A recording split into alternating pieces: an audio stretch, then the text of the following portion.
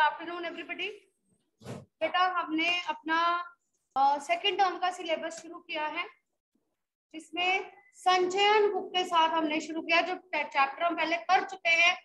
लेकिन क्योंकि ये हमारी सेकंड टर्म में है, इसलिए हम इसे दोबारा से पढ़ रहे हैं। रिकॉल हो जाएगा, अच्छे से हम लोग इसको कर सकेंगे।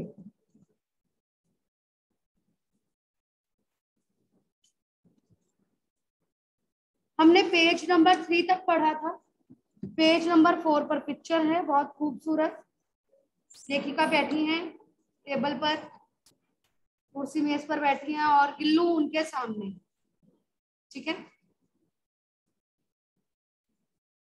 ओके पेज नंबर फाइव आपके पास अपनी बुक नहीं है?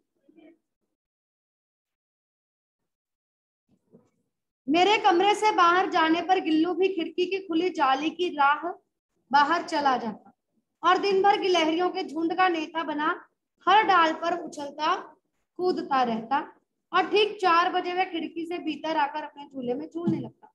ठीक चार बजे क्यों आता था? तब लेखिका के आने का समय हो जाता था। मुझे चौंकाने की इच्छा, उसमें न जाने कब और कैसे उत्पन्न हो गई थी।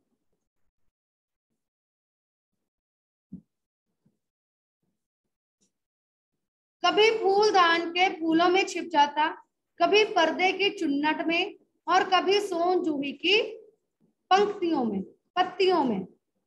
मेरे पास बहुत से पशु पक्षी हैं और उनका मुझसे लगाव भी कम नहीं। परंतु उनमें से किसी को मेरे साथ मेरी थाली में खाने की हिम्मत हुई है। ऐसा मुझे स्मरण नहीं आता। फ़ोटो बनी है ना? कुर्सी मेज पर बैठी है, दिखाने का मकसद यही था कि गिल्लू उनके साथ बैठकर उनकी प्लेट में से खाता है। लेखिका के पास बहुत सारे पशु पक्षी थे, ये हम पहले भी पढ़ चुके हैं। और गिल्लू ऐसा था जो उनकी प्लेट में से खाता था। गिल्लू इनमें अपवाद था। अपवाद मतलब एक्सेप्शन अलग था। मैं जैसे ही खाने के कमरे में पहुँचती, मैं खिड़की से निकलकर आँगन की दीवार बरामदा पार करके मेज पर पहुँच जाता और मेरी थाली में बैठ जाना चाहता। बड़ी कठिनाई से मैंने उसे थाली के पास बैठाना सिखाया, जहाँ बैठकर वह मेरी थाली में से एक एक चावल उठाकर बड़ी सफ़ाई से खाता रहता। काजू उसका प्रिय खाद्य था। खाद्य मतलब? भोजन, खाने की चीज़। और कई दिन काजू ना मिलने पर वह अन्य खाने की चीज़ें या तो लेना बंद कर देता या झूले से नीचे फेंक देता था। उसी बीच मुझे मोटर दुर्घटना में आहत होकर कुछ दिन अस्पताल में रहना पड़ा। लेखिका की लेखिका को अस्पताल में रहना पड़ा। एक दुर्घटना के शिकार हो गई थी, उनका एक्सीडेंट हो गया। कई दिन अस्पताल में रही। उन दिनों जब मेरे कमरे का दरवाज़ा खोला जाता, गिल्लू अपने झूले से उतर कर दौड़ता और फिर किसी दूसरे को देखकर उसी तेज़ी से अपने घोंसले में जा बैठता। घोंसला कौन सा था उसका? टोकरी। जो उसने टोकरी लटका दी थी लेखिका ने बताया था कितने सालों के लिए? दो साल के उसका वही निवास। सब उसे काजू दे आते, परंतु अस्पताल से लौटकर जब मैंने उसके झूले की सफ़ाई की तो उसमें काजू भरे मिले, जिनसे ज्ञात होता था कि वह उन दिनों अपना प्रिय खाद्य कितना कम खाता रहा। क्या कारण था? लेखिका की याद आ रही थी, लेखिका बीमार थी, उसके पास नहीं थी, उसका मन नहीं लग रहा था, इसलिए उसने खाना भी नहीं खाया। ऐसा होता ना, जब हमारे कुछ प्रियजन हमारे से दूर होते हैं तो हमारा मन नहीं लगता, कुछ खाने पीने का दिल नहीं करता। यही प्रवृत्ति पशु पक्षियों में भी होती है। उनमें भी भाव होते हैं। मेरी अस्वस्थता में वह तकिए पर सिरहाने बैठकर अपने नन्हे नन्हे पंजों से मेरे सिर और बालों को इतने हौले हौले से हलाता रहता कि उसका हटना एक परिचारिका के हटने के समान लगता। परिचारिका मतलब? सेविका। सेविका मतलब? दासी मतलब? यहाँ दासी होगा, नौकरानी होगी। एक नर्स जैसा। देखभाल करने वाला। नीचे से देख देख के मीनिंग्स नहीं बोलने हैं कि बस मीनिंग बोला और हो गया। ठीक है? गर्मियों में जब मैं दोपहर में काम करती रहती तो गिल्लू ना बाहर जाता, ना अपने झूले में बैठता। उसने मेरे निकट रहने के साथ गर्मी से बचने का एक सर्वथा नया उपाय खोज निकाला था। वह मेरे पास रखी सुराही पर लेट जाता और इस प्रकार समीप भी रहता और ठंडक भी रहती। गिलहरियों के जीवन की अवधि दो वर्ष से अधिक नहीं होती तो छोटी उम्र की होती है। अतः गिल्लू की जीवन यात्रा का अंत आ ही गया। दिन भर उसने ना कुछ खाया, ना बाहर गया रात में अंत की यात्रा में भी वह अपने झूले से उतरकर मेरे बिस्तर पर आया और ठंडे पंजों से मेरी वही उंगली पकड़कर हाथ से चिपक गया, जिसे उसने अपने बचपन की मरणासन स्थिति में पकड़ा जब उसे कौए की चोट से बचाया गया था उसने लेखिका की उंगली पकड़ ली थी जिसके सहारे ठीक हुआ है ना? तो आज जब वो मरने वाला था उसने फिर लेखिका का वही याद वही उंगली पकड़ ली। पंजे इतने ठंडे हो रहे थे कि मैंने जा, जाग कर हीटर जलाया और उसे उष्णता देने का प्रयत्न किया। उष्णता मतलब गर्मी। परंतु प्रभात की प्रथम किरण के स्पर्श के साथ ही वह किसी और जीवन में जागने के लिए सो गए। प्रभात की पहली, प्रभात की पहली किरण के स्पर्श के साथ, जैसे सूर्योदय हुआ, जैसे सुबह हुई उसकी मृत्यु हो गई। उसका झूला उतार कर रख दिया गया है और खिड़की की जाली बंद कर दी गई परंतु गिलहरियों की नई पीढ़ी जाली के उस पार चिक चिक करती ही रहती है। और सोन जूही पर बसंत आता ही रहता है। सोन जूही की लता के नीचे गिल्लू को समाधि दी गई है। इसलिए भी कि उसे वह लता सबसे अधिक प्रिय इसलिए भी कि उस लघु गात का किसी वसंती दिन जूही के पिताब पिताब मतलब पीला रंग, पिताब। छोटे फूल में खिल जाने का विश्वास मुझे संतोष देता है। गिल्लू को गिल्लू को वहाँ उसकी समाधि बना देना, उसको वहाँ दबा देने के दो कारण थे।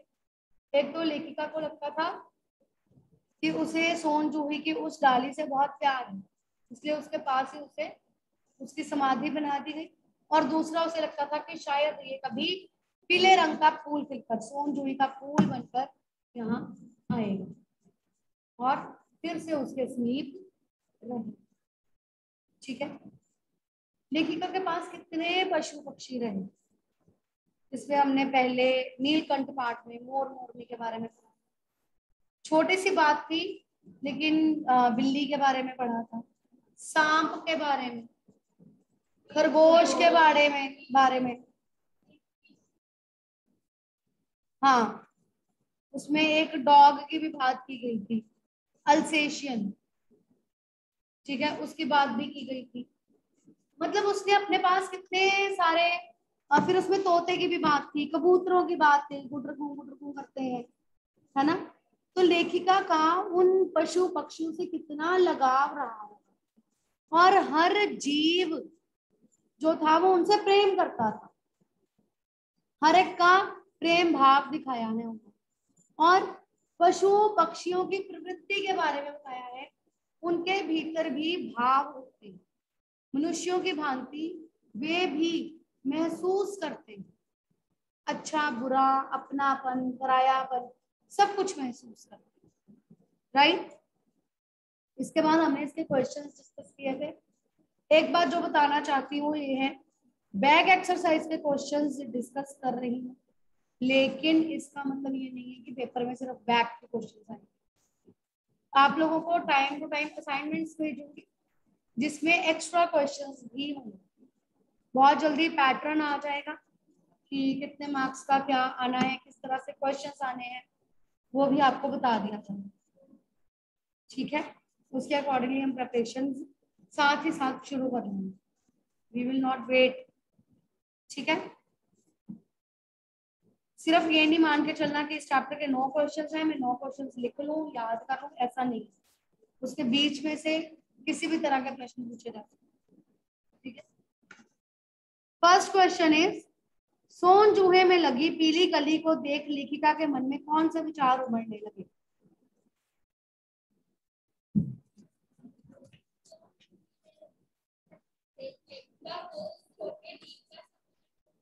समरण नहीं स्मरण स आधा है, इसलिए स्मरण। समरण नहीं, मरण का मतलब होता है मरना। समरण क्या बन जाएगा? स्मरण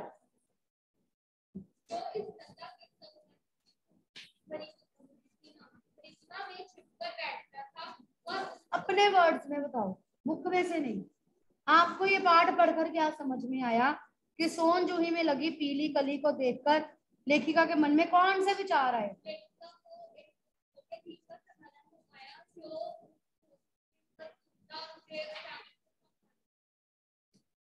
Okay anybody else up? अपन कॉपी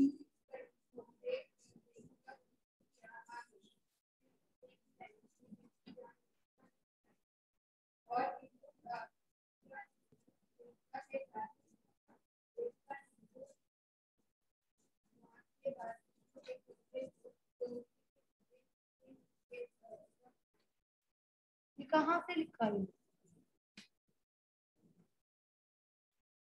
सोन जूही में लगी पीली कली को देखकर लेखिका के मन में कौन से विचार उमड़ने लगे? सोन सोन जूही में लगी पीली कली को देखकर लेखिका को गिल्लू की याद आ गई। कौन से विचार आने लगे थे उसे गिल्लू की याद आई? क्योंकि गिल्लू को वहाँ पर दबाया गया था, उसकी वहाँ पर समाधि बनाई गई थी और लेखिका को यह लगा कि उस कली के रूप में गिल्लू उसके पास आ गया है। बस। हाँ जी।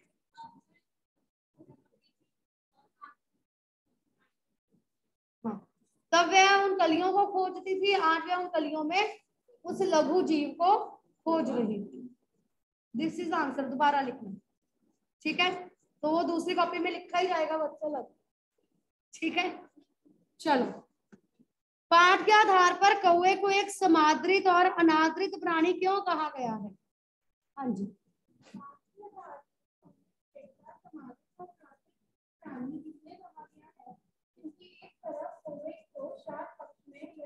पितृपक्ष में।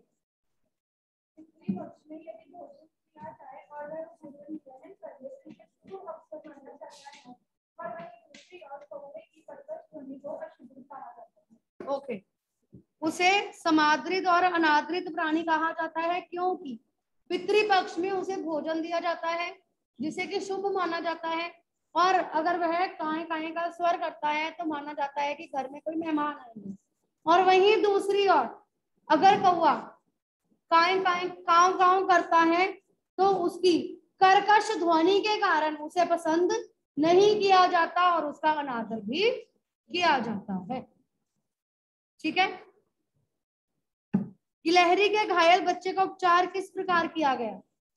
हर्षप्रीत।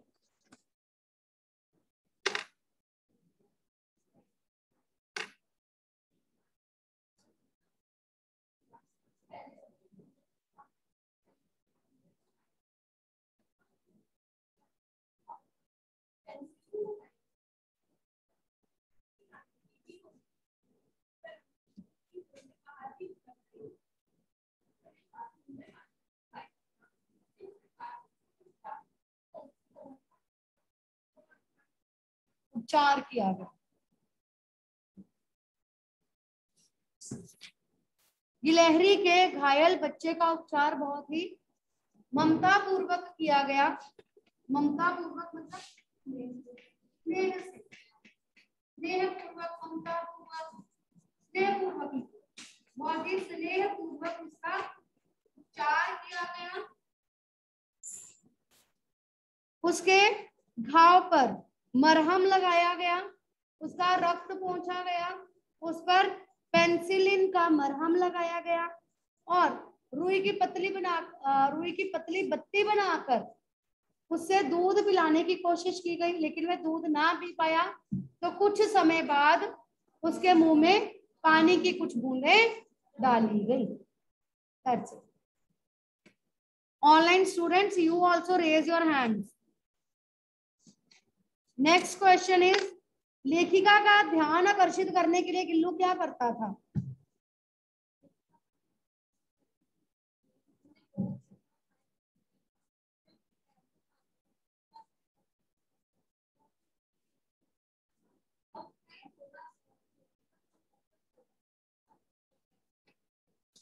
लेखिका का ध्यान आकर्षित करने के लिए गिल्लू उसके पैरों तक आ जाता।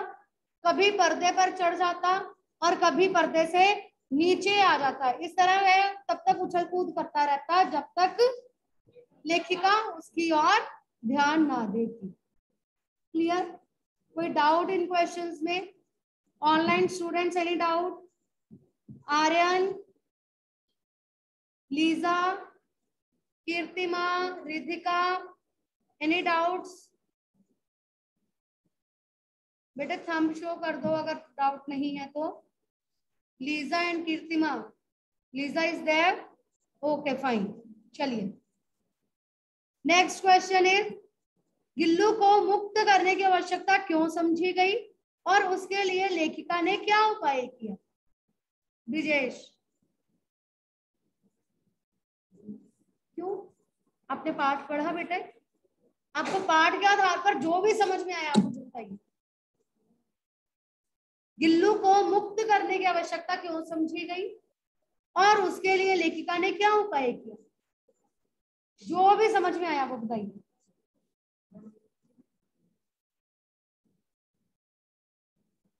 लेखिका को ऐसा क्यों महसूस हुआ था कि उसको थोड़ी देर के लिए मुक्त करना चाहिए?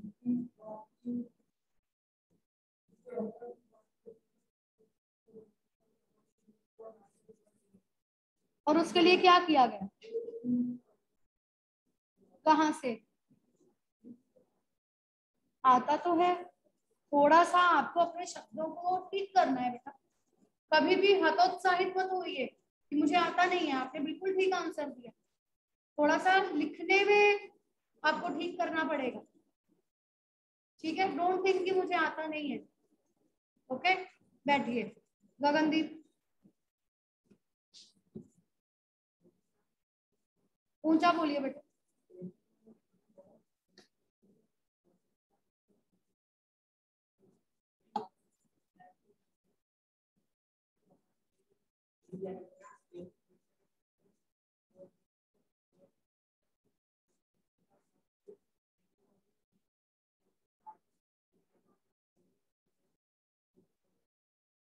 Okay okay. और उसके लिए क्या किया देखो इसमें एक क्वेश्चन में दो क्वेश्चन है एक क्वेश्चन अलग अलग भी आ सकता है। ठीक है? बैठिए हाँ जी, आप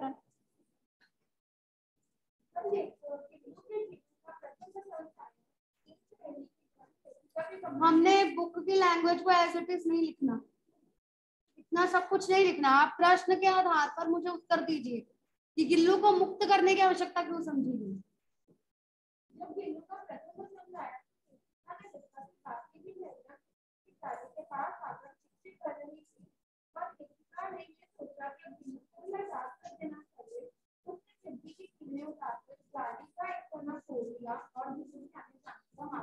वेरी गुड जब गिल्लू के जीवन का प्रथम बसंत आया तो लेखिका ने देखा कि बाकी की लहरियाँ जाली के पास आकर चिक करती हैं। जैसे कि वे गिल्लू को बुलाना चाह रही थी, और गिल्लू भी उन्हें बहुत ही ध्यान से देखता था, जैसे वह उनके पास जाना चाहता था। इसलिए लेखिका को उसे आज़ाद कर देने की आवश्यकता महसूस हुई, और इसके लिए उसने खिड़की से कीले निकालकर जाली के पास थोड़ा रास्ता बना दिया, ताकि गिल्लू बाहर आ जा सके। राइट मेहर जोत नेक्स्ट गिल्लू किन अर्थों में परिचारिका की भूमिका निभा रहा था? किन बातों से? इसका मतलब यह है कि किस बात से हमें पता चलता है कि गिल्लू लेखिका के लिए परिचारिका बना हुआ था? उसकी सेविका बना हुआ था।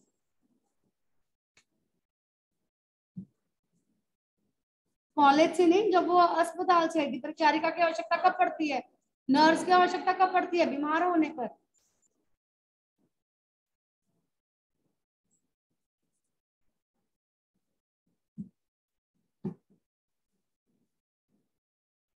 जसरूप बैठो बेटा किन अर्थों में लग रहा था कि गिल्लू परिचारिका की भूमिका निभा रहा है? हम्म। आपको देखो क्वेश्चन का मतलब समझना है। ठीक है? इस क्वेश्चन का मतलब ये है कि ऐसा कब महसूस हुआ कि गिल्लू लेखिका की देखभाल कर रहा है? क्वेश्चन किसी भी फॉर्म में हो सकता है। ठीक है? हाँ जी।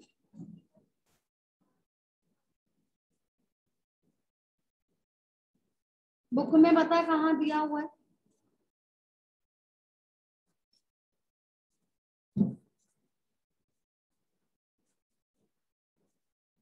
युग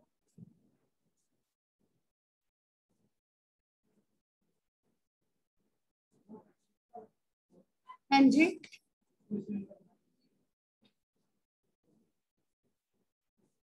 आप कहीं खोए हैं क्या?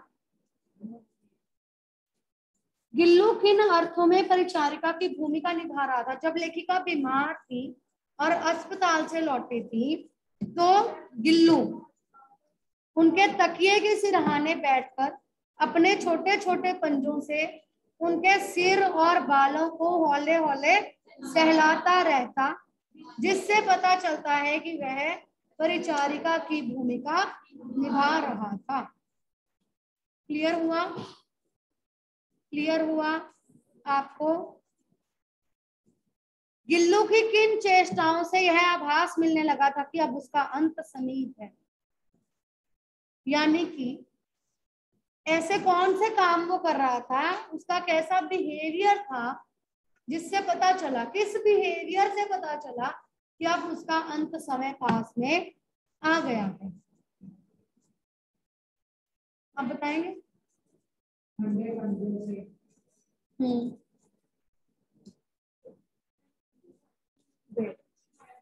बोलिए बेटा।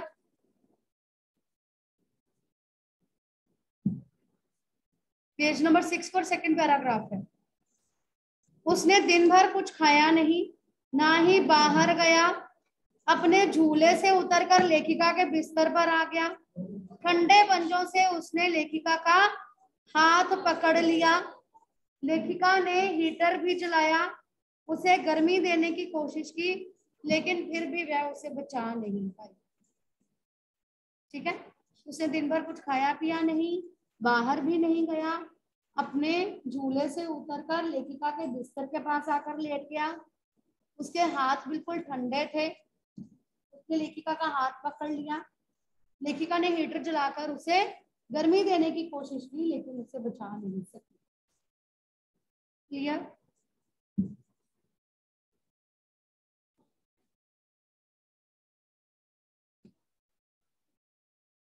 प्रभात की प्रथम किरण के स्पर्श के साथ ही वह किसी और जीवन में जागने के लिए सो गया। इसका क्या अर्थ है?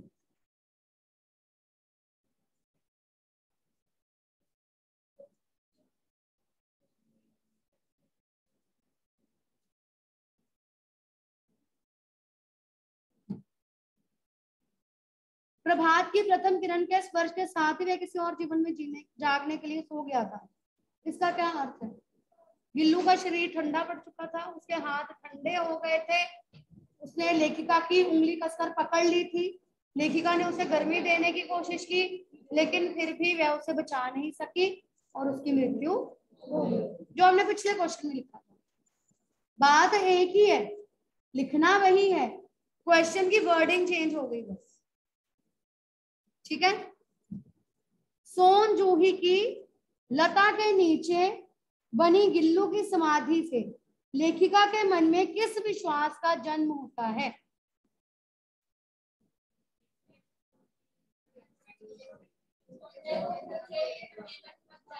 सबको इकट्ठे नहीं सुन सकती एक एक करके। हाँ जी, रमनी।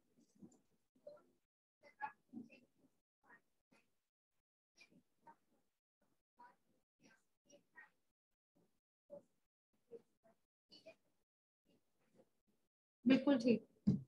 लेखिका को ऐसा विश्वास हो गया था कि एक दिन सोन जूही की लता के नीचे से ही गिल्लू फूल के रूप में खिलेगा और उससे मिलेगा। उसे विश्वास था कि वह कली के रूप में एक फूल के रूप में खिलकर उसके सामने फिर से आ जाएगा। मैंने दो बार आंसर बोला, दोनों बार उसकी वर्डिंग अलग थी। ठीक है? आपने इस बात का ध्यान रखना है कि आपका उत्तर गलत नहीं होना चाहिए। शब्द आपके अपने हो सकते हैं। ठीक है? बुक की वर्डिंग को एज इट इज़ कॉपी मत कीजिए। अपने शब्दों में लिखने का प्रयास करें। ठीक है? तभी आप राइटिंग स्किल्स भी कर सकते हैं। ठीक? Any problem any doubt in questions में किसी को कोई डाउट अब आपने ये क्वेश्चंस कॉपी में करने हैं। और कॉपी चेकिंग के लिए मुझे देनी है। ओके